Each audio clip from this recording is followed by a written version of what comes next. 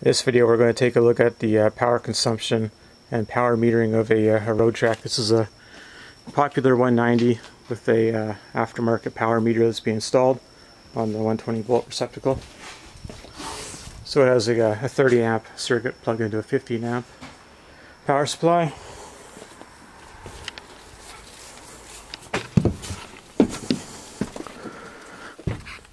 So I've been uh, working on the uh, AV console in this vehicle and I've added a uh, a power meter to it. This is a, a PM8000 power meter. These are actually pretty expensive. You probably wouldn't normally buy one of these for a, Roadtrek. I was able to get this used on eBay. So this one runs on 24 volt DC. A lot of them run on uh, AC power supplies. So this one is good because you can have it running before you plug into the power supply or to shore power or before you start on a generator. So basically it's a power meter that need, so it needs to measure your uh, AC voltage and your uh, AC current. So with this, if you follow the instructions on the manual for wiring this up, you wire up uh, the line voltage and a neutral into this block here and just use like a stake on connector kind of thing. Whereas on the uh, current you always use the ring terminals. And you can see I just got my uh, grounds bonded together. I'm going to be installing a, a, box for this in the future. But uh, right now I've got the voltages kind of turned off. So to do this if you're an electrician you're probably already in dismay. But this has got a, a 4x4 box, just a PVC box with uh, four connectors on the outside. And then I've got uh, three conductor 14 tray cable. And then for the uh, metering side of things, and then the uh, Roadtrek between the transfer switch and the electrical panel, there is a uh, two conductor 10 with the ground that goes between these. If I was to do this again, I would replace this 2 conductor 10 because it's very stiff being solid wire.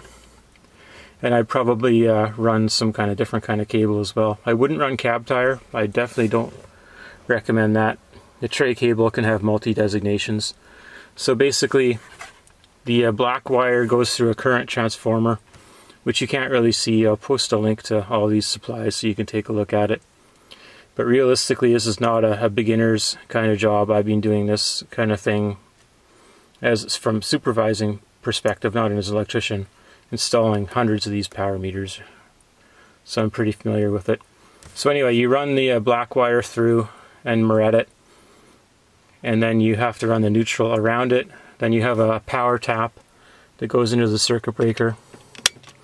So I just set it off. Now it's going to start reading current, and you have a, a ground in here. So you can see I got 123 volts going to the power meter. This power meter is pretty neat. It's got two Ethernet connections on it.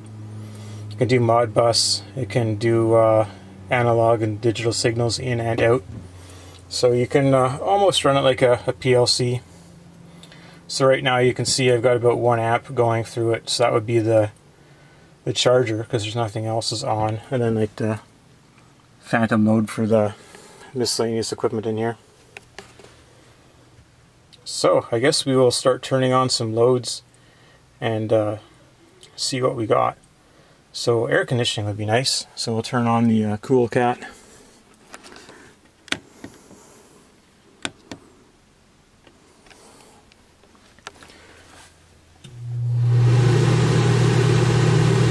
So it's just kind of getting started here right now.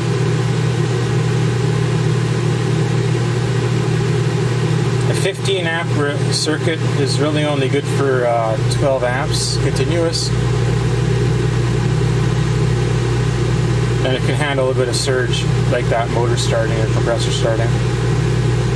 So we're about four and a half amps right now. And it's conceivable that you might have your uh, fridge on. So leave this on AC. Bear with me, the controls on this thing don't work very well.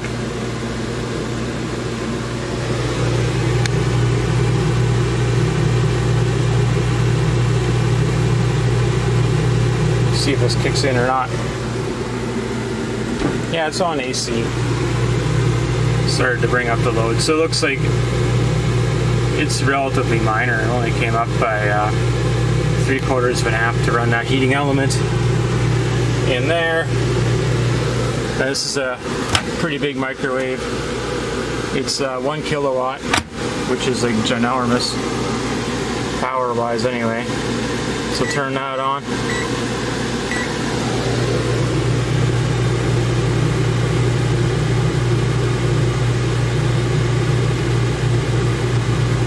So we're getting there now. So we got almost 10 amps of load.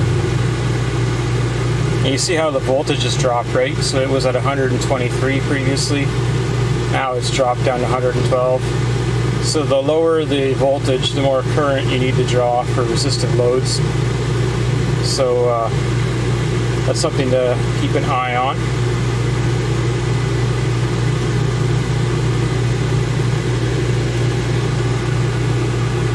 So this power meter can do a, a bunch of different things. We can take a, a look at it. But like I said, it's very unlikely you would buy one of these.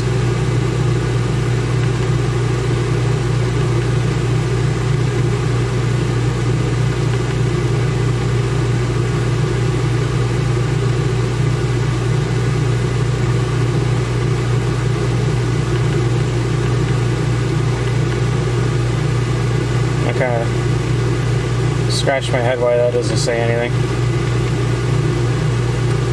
But right, so we're drawing 4.4 kilowatts right now. And you can tell the power factor is reasonable. It's almost unity power factor.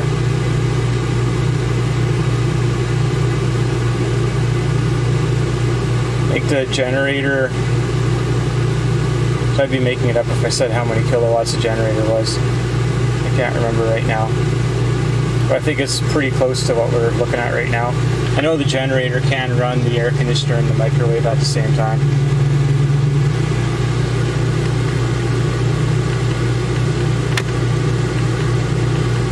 Yeah, there's a lot of stuff here I don't have programmed.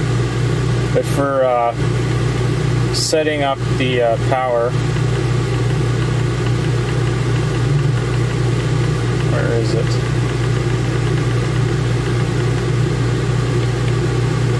So it's a single phase setup. The rotation doesn't matter. You can't even change that. I don't know why. So I had to set it to 240 to 120, even though I'm putting uh, 120 into this thing. For whatever reason, that's what it makes it happy. Then the current transformer is a 30 to 5. So when you have 30 amps going through the current transformer, it sends 5 amps up to the power meter.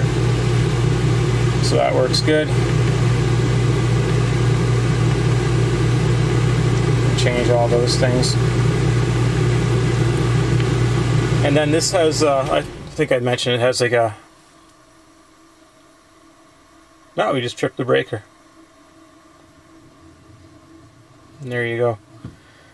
Alright, too bad I didn't. Maybe you saw what how many amps we were pulling when we did that. Now the uh, fridge is trying to switch over to gas, but it's not going to be successful. Alright, we'll have to go inside and turn the breaker back on. But anyway, I wanted to show you this. This meter is a quarter DIN. I have a, uh, a meter plate here somewhere. So I'm going to be making a, a console somewhere in the bottom here to house all of this stuff because it's not professional at all right now. This is just kind of proof of concept stage. But then the other reason is this still works because it's running on the 12 volt DC stepped up to uh, 24 volts. I got a little power converter right there, a step up power supply. And then for the wiring, this will apply to pretty much everything. But basically you've got your line and your L2, which is your neutral. And you want to uh, when you're setting up your current transformer, like the whatever the uh, designation is on the primary side, the, like the one side or the polarity dot is going to be facing the line and then the load will be on this side. And then if you have like an X1 and an X2, then the X1 is going to go into I1. Sometimes it's uh, going to be H1 and H2 depending on the CT. I bought a cheap Chinese CT in that it was like cheap, like no name off of eBay Chinese kind of thing because it had pretty good uh, specs for um, accuracy. I couldn't find anything reasonably priced and reasonably sized that could measure 30 amps because most of the time when you have a revenue meter you're not going to be measuring a 30 amp power supply and then you have in this case you have to bond all of the spare signals together to the neutral. And it's very important that you ground the one leg of the CT because if you ever open circuit that CT the voltage is going to go very high so you have to keep it bonded to ground. So that's like a mandatory thing. And then it's good to have a uh, what I did was I put a circuit breaker on the L1 leg going into the console. I don't think they really mentioned that in here but you can see it's got two ethernet ports digital port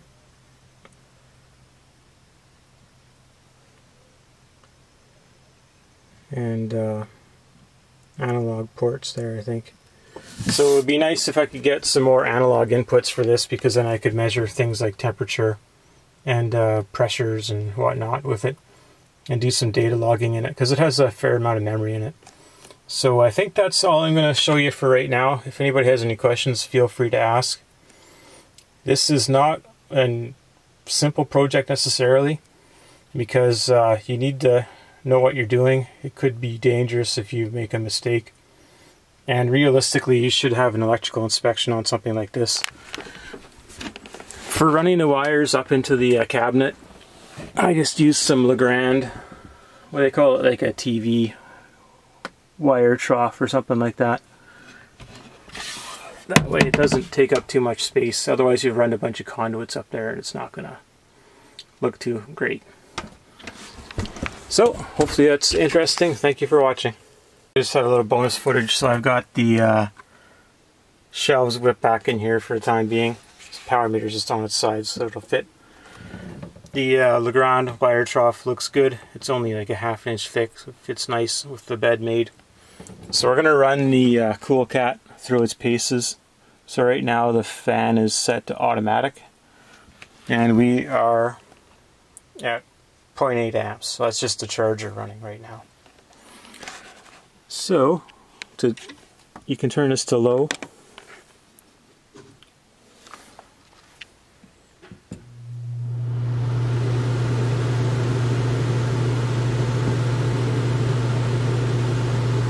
I'll let you do the math. You can watch the uh, voltage drop as well. So now we'll turn it on to uh, high.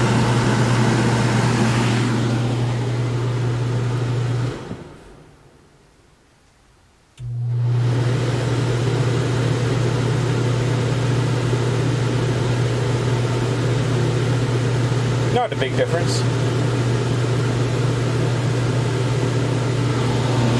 We'll put it back on automatic. Now we'll put it on cool.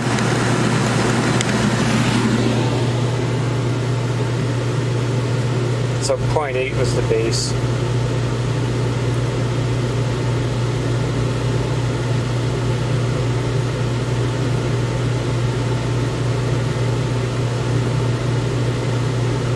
That's with cooling on.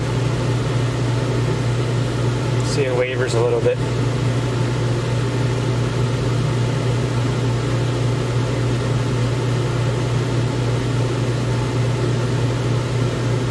I guess this is kind of neat because it'll tell you uh, from a battery capacity how much uh, energy you would be using if you wanted to uh, run off an inverter.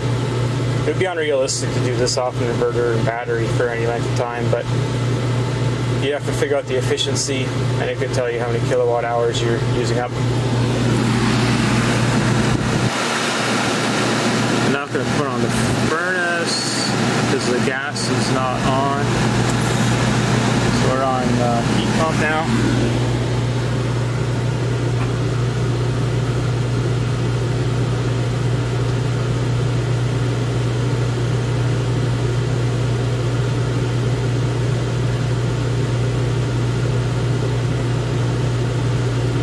A bit less than the air conditioning. It's about probably 70 degrees outside right now. 20 degrees Celsius. I guess we could put on the uh, furnace just for a minute. It's not going to work though, obviously.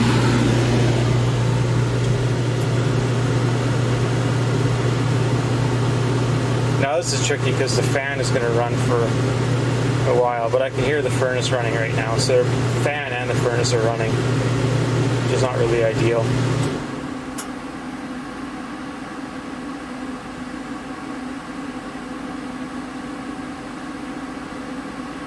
Alright, so the fan is only drawing, or the furnace is only drawing like 0.2 amps. I don't know if it's AC or DC to begin with, so you have to look at the specs on that for the furnace. So, I guess we will turn that off.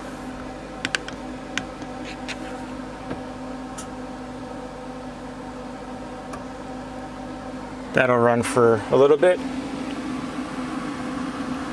You see it's pretty minimal. Alright, let's try with our unit here. This is what knocked us out the last time.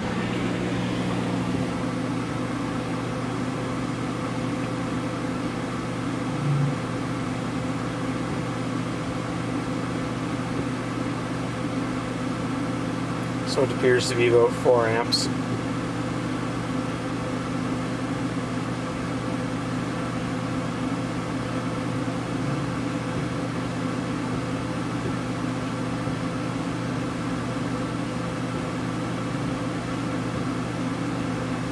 Let's stop that.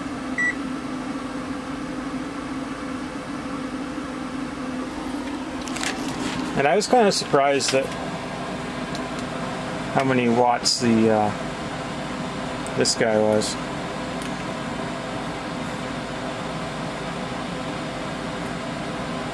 Alright, so flip over to AC.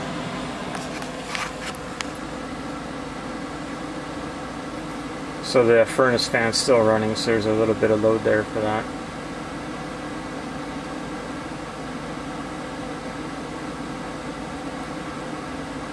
So my understanding that the heating element on the AC side of the uh, fridge is bigger than the DC heating element.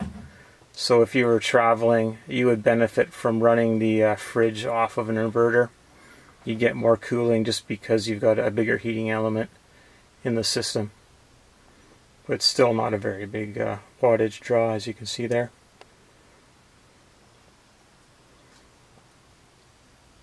I don't think there's anything else AC to run in here that I can think of just the charger. That really depends on uh,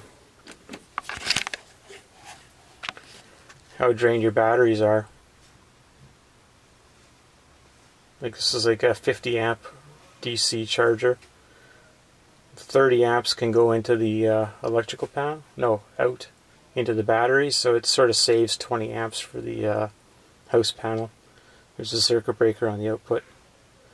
So as you can see, it's sitting around 0.8. It's not really wavering. But the voltage definitely goes up and down as you're loading it up. And we're right at outside of the house rate. So if you were in some campground with some cheesy wiring system, your voltage might be dragged way down. So you, something you can keep an eye on if you were of interest to do that. So I guess we'll wrap up the video for real this time. So thank you for watching.